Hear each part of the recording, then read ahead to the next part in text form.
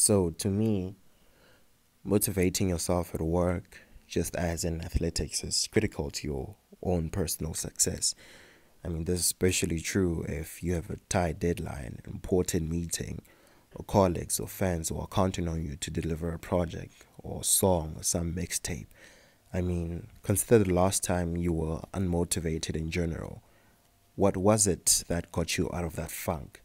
Sometimes all it takes to get you going is a good night's sleep or witnessing the results of your own labor.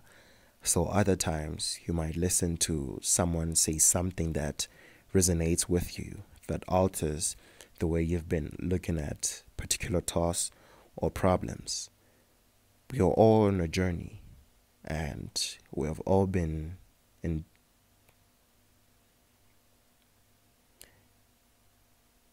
we are all on a journey and we've all been down in the dumps before, wondering if what we are doing is really worth it, wondering if what we are doing is really making an impact out there. Coming up in my street block with a nigga I grew up with, Blessing, I could say a lot of phenomenal things about our memories, which is kind of the way um, me and Ron met up recording through demos with fuel of inspiration from the like of artists Kanye, Future, and uh, and a lot more, and a lot more. Actually, I could spend the whole day listening. You know, fast forward past five years, uh, Ron approached me and says he's working on an album, his first album. You know, from the moment I could see the potential through his eyes and work that he done did, you know, with the past songs and features he's been on, with also the event that he hosted um, last year in December, I think on the 17th, if I'm still sure. I mean, seeing him going through this hard work clearly showed me potential that nah man, this this nigga is really going far. And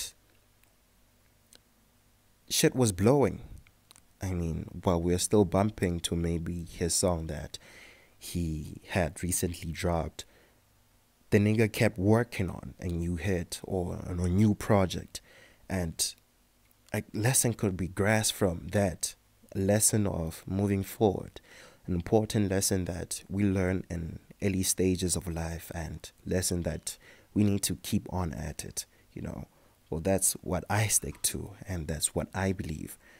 Uh, from what i see is or from what i'll tell people is to keep going you know even when they're at their best even when they're at their worst you know just keep going.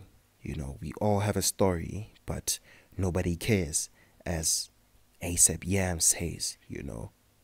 What I'm trying to say is through all this catastrophe that life may throw at us, keep your spirit alive. You know, it's the work that we create that people care most from. You know, and always remember from your heart and your mind and your soul with everywhere you go or a everywhere you go that God got us.